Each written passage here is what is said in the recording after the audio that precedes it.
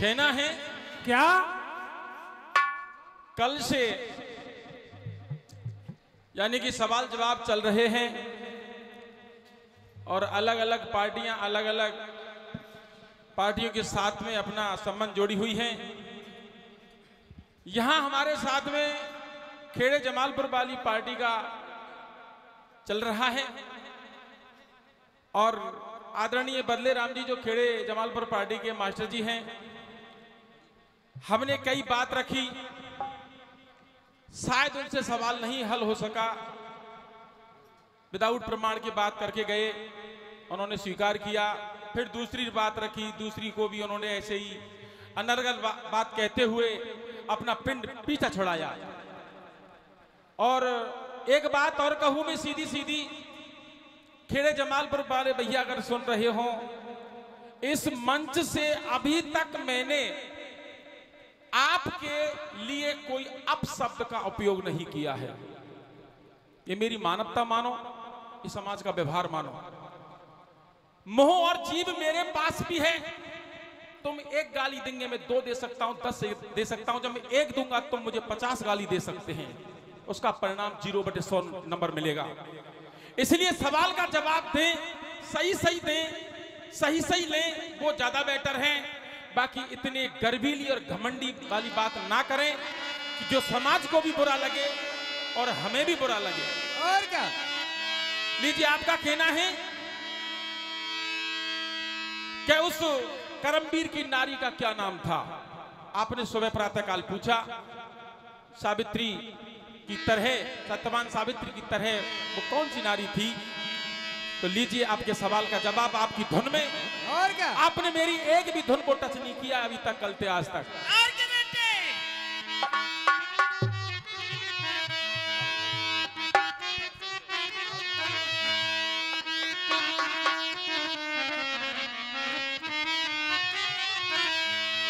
हरि उत्तर सुन लो सोच विचारी। ऐसे देते सवाल का जवाब। और क्या? उत्तर सुन लो सोच बिचारी है तू।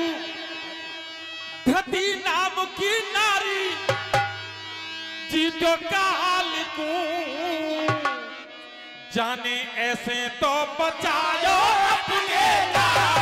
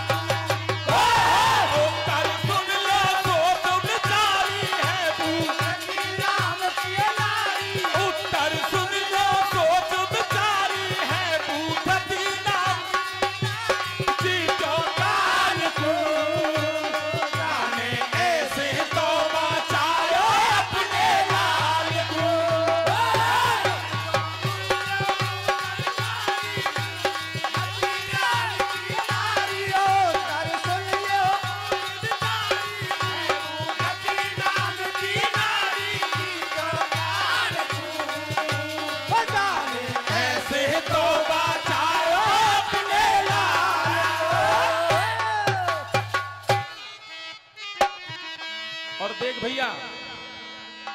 चलती चलती। एक लाइन रखूँगा मैं। मैं सबर आ ना रहा क्योंकि सामने बड़े बड़े महारथी बैठे और बिल्कुल।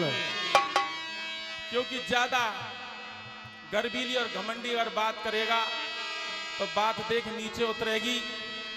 क्योंकि ये पूरा संसार जानता है कि पिता में भीष्म के एक बाण का उत्तर तीनों लोकों में नहीं है। तो उससे जवाब नहीं लगेगा।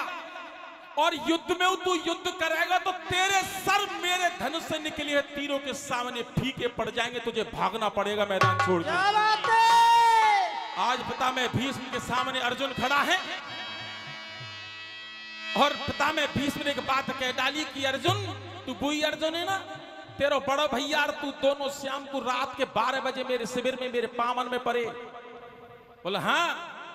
बोल तुमको पता है कि मैं ऐसा जगत का पहला मारथी हूँ कि जिसने अपनी मृत्यु का कारण और शत्रु को बता दिया। तो सुन ले मेरी बात। एक लाइन कहूँगा ज़्यादा नहीं। क्या?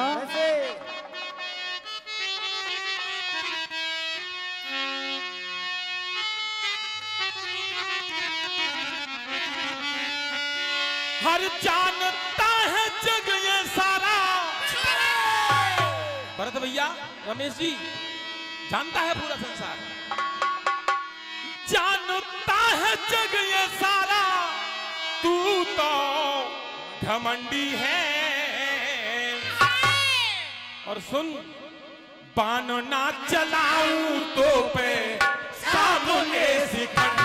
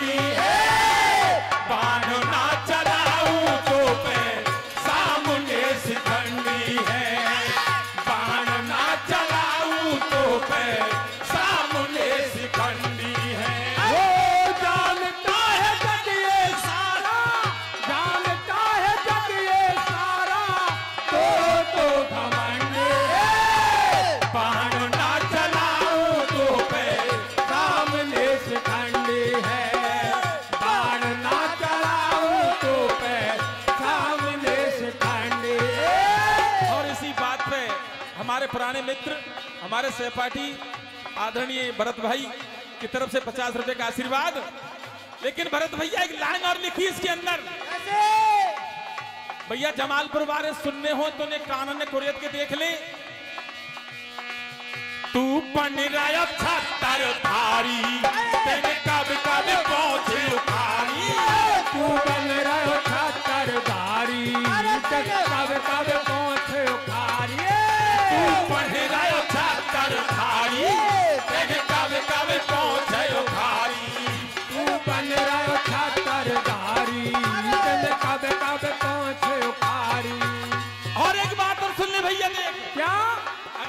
तू घमंडी ली और गर्वी ली और बेतुकी बात करेगा तो सुन।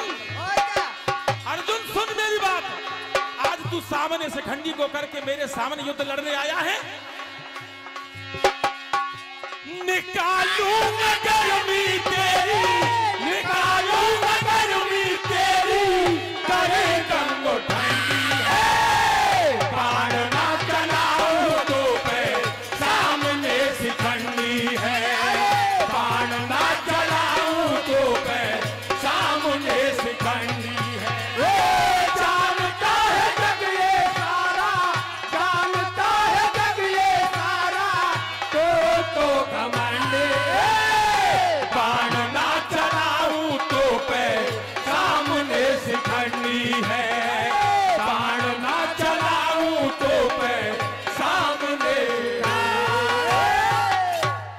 देखिए, एक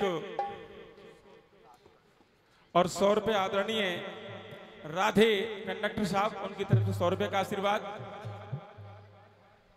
और बीस रुपए का आशीर्वाद, पचास पचास रुपए का आशीर्वाद, जो भी मिला है सबसे आशीर्वादी कामना करते हुए, लेकिन एक पाताल लोक का एक राक्षस हुआ करता है, मकराक्ष नाम का राजा। थोड़ी सी कथा प्रसंग से जोड़ने का प्रयास करूँगा। लेकिन बंधुओं उस मकराक्ष नाम की, नाम के राजा की धर्म पत्नी ने और एक सुंदर सी शिशु कन्या को जन्म दिया। जन्म होते ही आकाशवाणी हुई कि अरे राजन, तू इस कन्या को देख करके इतना प्रसन्न मत हो, ये कन्या ही एक दिन तेरी मृत्यु का कारण बनेगी। उस मकराक्ष नाम के राजा ने अपनी धर्म पत्नी से शिशु कन्या को गोद में लिया, समुद्र के किनारे पहुँचा, समुद्र की लहरों के अंदर छोड़ दिया। बह गई, किनारे से लग गई। लेकिन वहीं पास में एक कम्ब ऋषि का आश्रम हुआ करता है वो शाम को संध्या बंधन के लिए स्नान करने के वास्ते आते हैं। उस शिशु कन्या की रोने की आवाज़ जब सुनी गोद में उठाया अपने आश्रम पर लेके गए पालन पोषण करने लगे। बड़ी दिव्य और सुंदर कन्या है। लेकिन मेरे बंधुओं को उसकी घटना विचित्र है कि वो जब धीरे धीरे किशोर अवस्था को प्राप्त होने लगी क्या बात है? तो उस दिव्य कन्या के बड़ा बड़ी छटा है सुंदर है निराली है लेकिन उसके नख अर्थात नाखून सूप जैसे हैं। सूप जैसे नख होने के कारण उसका नाम सूपनखा रख दिया गया। आज लंका के दरमियान से एक विद्युत जिप्पी या विद्युत बेग के नाम से एक राजकुमार भी विद्या अर्जित करता है। बात को प्रसंग को आगे बढ़ाते हुए यानी कि उस शूपणखा और विद्युत जीव का मिलन हो गया। अर्थात मैं यो कहूँ कि कम ऋषि ने उनको सूत्र बंधन में बाँध दिया शादी विवाह हो गया।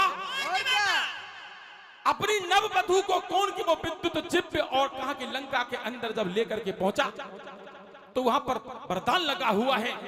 एक बात है कि जो भी नव बधु लंका के अंदर प्रथम प्रवेश करेगी तो वो मंदोदरी के जना ने महल में भोजन के लिए भोज में पधारेगी। ऐसा ही हुआ। भोजन तैयार है। इधर राजा रावण अपने सिंहासन पर बैठा है। सामने से विद्युत जिव्य अपनी धर्म पत्नी सुपर्णखा को ले जाने लगा भोजन के लिए। उस दिव्य सब नारी के ऊपर नज़र पड़ी किसकी कि उस रावण की। मन के विचार बदल गए। कुंठित विचार हो गया। और उस सुंदर नारी को पास बुला करके कहने लगा कि, अरे सुंदरी, तू इस विद्युत जिब के साथ में क्या लेगी? तू मेरा वर्ण कर ले। पीछे हट गई। लेकिन रावण किस तरीका से क्या कहने लगा क्या बताया? क्या?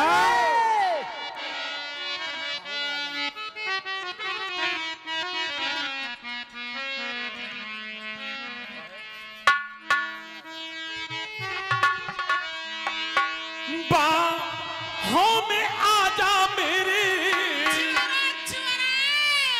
हे सुंदरी तू मेरी बाहों में आ जा इस तरीका के शब्दों का जब उच्चारण किया तब कहना है क्या?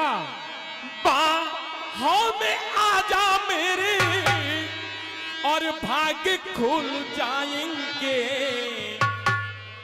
गोरे मो को बाली बोल पिया बन जाएँगे। गोरे मो को